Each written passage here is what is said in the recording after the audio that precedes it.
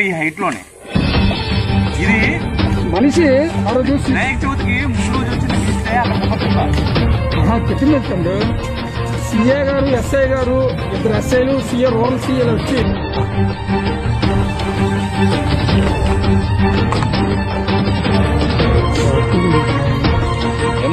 అక్కడ?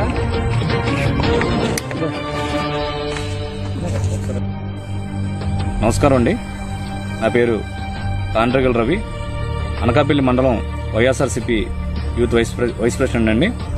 అయితే ఏదైతే వైఎస్ జగన్మోహన్ రెడ్డి గారు ప్రతిష్టాత్మకంగా చేసుకొని గత ప్రభుత్వంలో కాకుండా ఈ ప్రభుత్వంలో ఇసుక మాఫియా ఎక్కడా కూడా జరగకుండా ఇసుక ప్రతి ఒక్కరికి కూడా ఒక అందుబాటులో ఉండేలాగా ఆ విధానం తీసుకురావడం జరిగింది.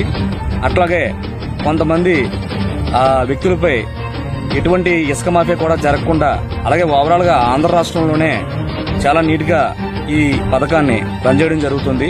ఈ క్రమంలో కొన్ని నెలల క్రితం ఇసుకని అధికారులు తుమ్మపాల్లో ఇసుకని సీజ్ చేయడం జరిగింది. ఇసుకని సీజ్ చేసిన తర్వాత దానిపై కేసు కట్టకపోవడం వలన అట్లాగే వారిని వదిలేయడం వలన కూడా ఈ ఇసుకని యథేచ్ఛగా మళ్ళీ అమ్మేశారు. దీని మీద నేను పది రోజుల క్రితం ఎంఆర్ఓ గారికి ఫిర్యాదు చేయడం జరిగింది. కానీ దీని మీద ఎంఆర్ఓ గారు కానీ అలాగే ఆర్డీఓ గారికి కూడా ఫిర్యాదు చేయడం జరిగింది.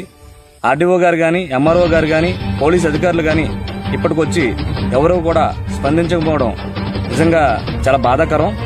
ఎందుకంటే ఈ యొక్క ఇంచుమించుగా యాభై లక్షల రూపాయల ఇసుక ఈ యాభై లక్షల రూపాయలు ఈరోజు గవర్నమెంట్కి ఆదాయానికి గండిపడే పరిస్థితి నెలకొంది ఇక్కడ.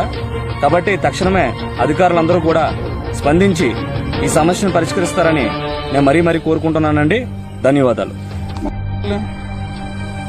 ఇది పర్టికులర్గా పలానా వ్యక్తి అని చెప్పలేమండి. ఎవరైతే అధికారులు ఉన్నారో వాళ్ళు ఖచ్చితంగా దీని మీద సమగ్ర దర్యాప్తు జరిపించి ఎవరైతే ఈ ఈ యొక్క ఇసుక అమ్మడానికి పాల్పడ్డారో వాళ్ళ మీద ఖచ్చితంగా శిక్ష పడేలా చూస్తారని చెప్పి మరీ మరీ కోరుకుంటున్నాను. అలాగే దీని వెనకాల ఉన్న వ్యక్తులు కూడా లాగాలని చెప్పేసి నేను ఖచ్చితంగా డిమాండ్ చేస్తున్నా ఉన్నా. థ్యాంక్ యూ అండి మరిన్ని ఇంట్రెస్టింగ్ అప్డేట్స్ కోసం తప్పకుండా మా ఛానల్ని సబ్స్క్రైబ్ చేయండి. Thank you for watching